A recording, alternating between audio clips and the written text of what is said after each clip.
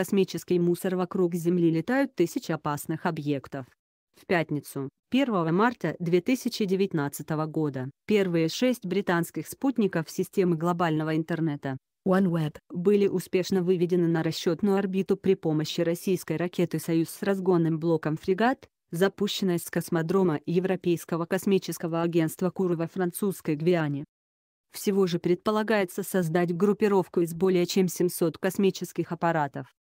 Это достаточно много ведь по состоянию на лето 2018 года всего вокруг Земли летал 1071 только рабочих спутников, без учета орбитальных мертвецов. А тут сразу 700 дополнительных.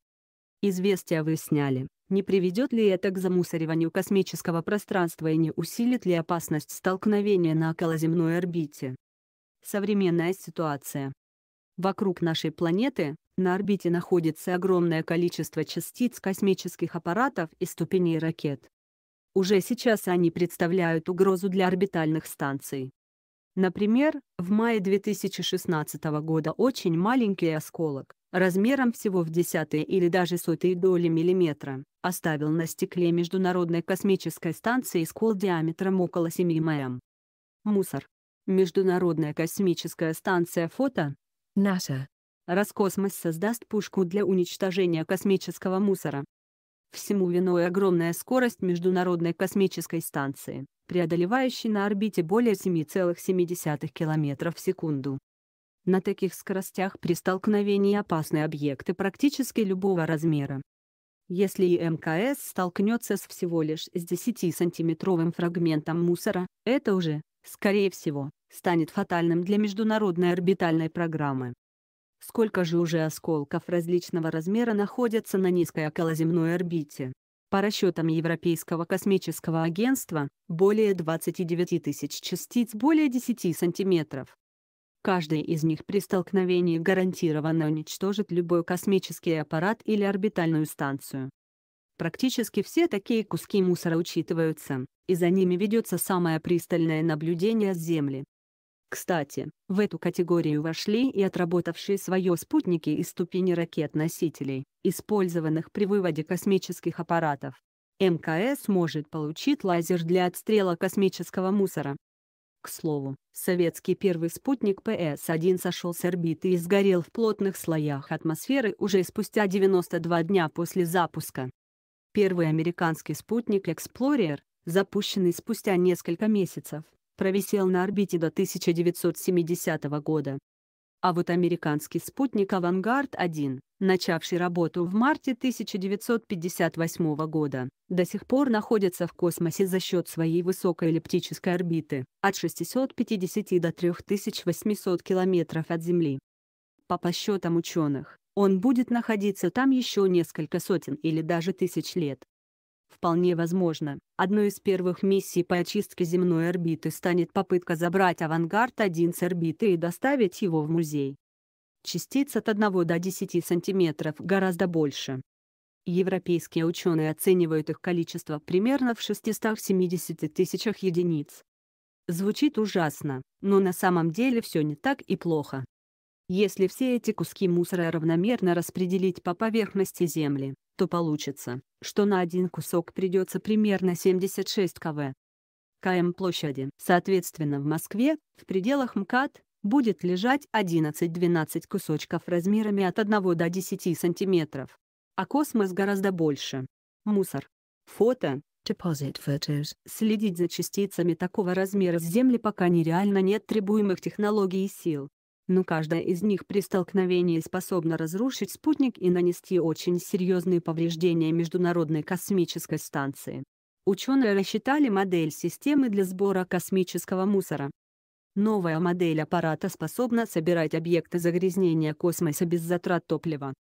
Но кроме таких больших частиц, есть и гораздо меньшие, но оттого не менее опасные. Частиц размером от 1 мм до 1 см более 17 миллионов и все они имеют искусственное происхождение. Такие частицы могут при неудачном столкновении вырубить космический аппарат и даже пробить противометеоритную защиту орбитальной станции. Пробоину можно будет заделать, но это все еще очень не очень опасно. Чей мусор? Одним из наиболее серьезных загрязнений околоземной орбиты стал американский проект Вестфорд. В 1961-1963 годах при помощи трех ракет-носителей на орбиту были выведены 480 миллионов медных иголок. Американские военные предполагали создать искусственную ионосферу вокруг нашей планеты, чтобы обеспечить большую надежность для систем военной связи. Причем первые два запуска окончились неудачно, и лишь с третьего раза военным удалось засеять на орбите нашей планеты почти полмиллиарда небольших проволочных кусочков. Проволочные иголочки были очень тонкими, они имели в длину всего 1,78 см при толщине около 20 микрометров. На изготовление полумиллиарда таких проволочек потребовалось всего около 20 килограммов меди. В результате третьего, успешного запуска вокруг Земли на высоте 3500 километров было образовано кольцо, своеобразный бублик толщиной около 30 километров. Мусор. Объект из музея проекта Вестфорд фото. commons.wikimedia.org edmund.hoover Роскосмос предвидит монетизацию уборки мусора в космосе в будущем.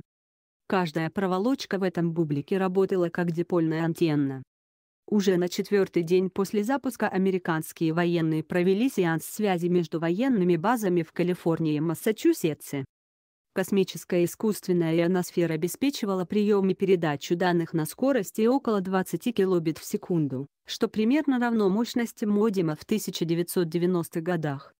Однако уже спустя несколько недель иголочки стали разлетаться друг от друга, и качество связи стало падать. Во многом из-за этого от проекта отказались и закрыли. По словам военных, большинство правильно направленных кусков проволоки в течение 10 лет вернулись на Землю и сгорели в плотных слоях атмосферы.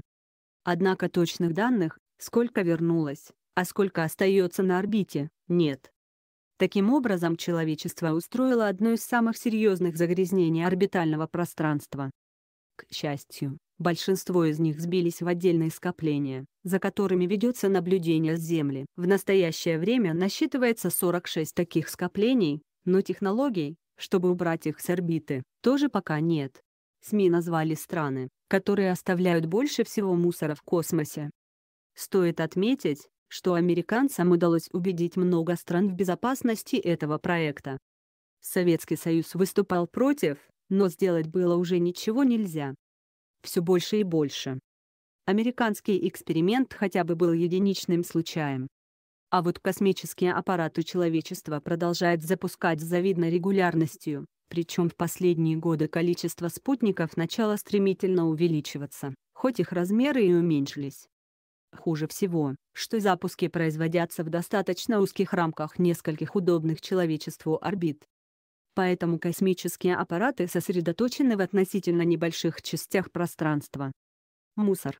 Космос 2251 российский военный спутник связи типа «Стрела-2М», который вышел из управления и 10 февраля 2009 года столкнулся с рабочим американским спутником. Iridium. 33 фото. commons.wikimedia.org/landman Роскосмос разрабатывает космического уборщика он сможет сдувать отработавшие аппараты с орбиты направленной ионной струей. В 1978 году научный консультант NASA Дональд Кеслер, глядя на стремительно увеличивающееся количество космических аппаратов на орбите, сделал один очень неприятный для человечества прогноз. Он предположил, что в какой-то момент спутников на орбите станет так много, что начнут случаться неконтролируемые столкновения, которые приведут к эффекту домина. Что он имел в виду? За счет огромных скоростей спутники на орбите при столкновении образуют огромное количество осколков, разлетающихся в разные стороны. При этом часть этих осколков может найти себе следующую жертву и дальше, дальше, дальше, дальше. И да, первое столкновение на орбите уже случилось в 2009 году. Главным действующим лицом стал Космос-2251 российский военный спутник связи типа «Стрела-2М». Он был запущен в 1993 году и проработал на орбите всего пару лет. Затем его система маневрирования вышла из строя, военные попереживали, но ничего не смогли поделать, списали его и забыли. А спутник полетел дальше по космосу искать себе друзей. И 10 февраля 2009 года, на высоте около 790 километров над уровнем моря, он встретился с рабочим американским спутником. Iridium. 33. На Западе бытует версия, что Космос 2251 был вполне рабочим боевым аппаратом, но применение противоспутникового оружия в 2009 году кажется маловероятным. Примечание. Ред. Результатом такой встречи стали примерно 600 осколков размером более 5 см и несколько тысяч более мелких.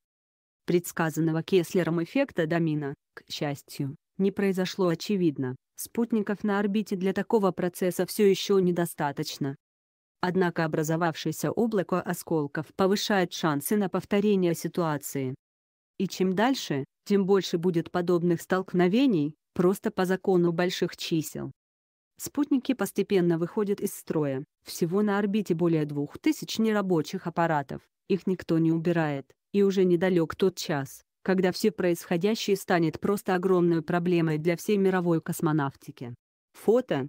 NASA. Компьютерная модель распределения космических объектов в космосе, согласно описанию. NASA. 95% из них являются мусором. Глубокая обеспокоенность.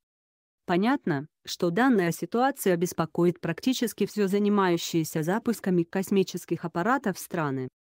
На конференциях и круглых столах, посвященных проблемам мировой космонавтики, эта тема всплывает постоянно. Но вот тратят серьезные деньги на решение проблемы пока никто не собирается. Именно поэтому большинство современных проектов по созданию космических аппаратов для орбитальной уборки либо так и находятся на стадии проектов, либо тянут не более чем на студенческие разработки. Увы, но на деле пока ни одна мировая держава не начала всерьез бороться с проблемой орбитального мусора. Космические державы будут сообща бороться с мусором на орбите. А кто же из стран внес наибольший вклад в замусоривание орбиты Земли? На первом месте по количеству космического мусора находится США. Совсем немного от них отстает Россия, 3961 против 3999 крупных объектов, но по общему количеству объектов на земной орбите, с учетом ступеней ракет и действующих спутников, Россия удерживает первое место, 6515 у России и 6211 у США. На третьем месте по количеству мусора находится Китай, 3475 объектов. Максимум, что было сделано, организовано наблюдение за космическими аппаратами и серьезными кусками мусора на орбите. У каждой страны ведется свой каталог, учитывающий наиболее заметные проблемы загрязнения. Например, есть российский каталог СПОСОКП, автоматизированная система предупреждения об опасных ситуациях в околоземном космическом пространстве, ведущийся главным информационно-аналитическим центром ЦНИМАШ. По состоянию на 2014 год в нем содержалась информация уже о более чем 15,8 тысячи единиц объектов космического мусора. Также наблюдения за мусором на орбите ведут и Соединенные Штаты Америки. Мусор. Модель аппарата. Clean Space One. Фото. EPFL. А что же с очисткой орбиты? Какие космические аппараты уже готовы к уборке? Пока никакие. Ближе всего, как это ни странно, к запуску своего космического уборщика Швейцария. Казалось бы, у этой страны всего один спутник на орбите, да и тут уже не работает. Но, как сказал швейцарский премьер-министр, Швейцария очень любит чистоту. А потому уже в ближайшее время должен быть запущен на орбиту аппарат CL and Space One, основной задачей которого станет уборка швейцарского неработающего спутника. Естественный носитель, в России создают ракету для оперативных запусков. Она сможет отправлять на орбиту спутники весом до 15 килограммов за 3 часа. К сожалению, аппарат одноразовый, а потому на ситуацию с мусором существенного влияния это не окажет. У США есть достаточное количество идей и разработок для уборки космического мусора, но пока ни одна из них не превратилась в реальный космический аппарат. Среди вариантов идея есть, например, специальная мелкоячеистая сеть, накидываемая на скопление космического мусора, чтобы затем направить его в сторону Земли. Иногда достаточно просто двинуть объект по направлению к поверхности планеты, а дальше все дело сделает сила притяжения. Есть вариант уборки мусора с орбиты при помощи лазера. Предполагается, что лазерный импульс, испаряя часть объекта, заставит его сдвинуться с места, что сильно уменьшит общее время пребывания мусора на орбите. Этот проект называется Laser Broom. «Лазерная метла», но и он в настоящее время не ушел дальше разработок. Совсем недавно, в феврале 2019 года, британский зонд Remove debris. впервые провел испытание орбитального гарпуна. Находясь на орбите, зонд успешно выстрелил гарпуном в мишень, впрочем, не найденную там же в космосе, а привезенную с собой и вынесенную на штанге на 1,5 метра, пробил обломок, а затем смог его притянуть с помощью троса. Затем аппарат отправится потихоньку к Земле, а затем сгорит в плотных слоях атмосферы. Это, конечно, тоже серьезное продвижение вперед, но до настоящей уборки на орбите еще очень и очень далеко. Пока человечество радует такие одиночные успехи, огромное количество обломков продолжает висеть в космосе. Так что же со спутниками? OneWeb. Сильно ли они загрязнят орбиту? На самом деле не очень. По сравнению с той проблемой, что в настоящее время уже висит над нашими головами, еще 700 спутников, тем более с достаточно длительным сроком активной службы, погода не сделают. Более того, такой массовый вывод космических аппаратов – это скорее показатель технических возможностей современной космонавтики, а значит, и вывода будущих космических уборщиков. Пока же мы можем следить за выводом все новых спутников и ждать, когда же вся планета будет покрыта доступом в сеть интернет. Осталось совсем недолго, а мусор, даже космический, пока подождет.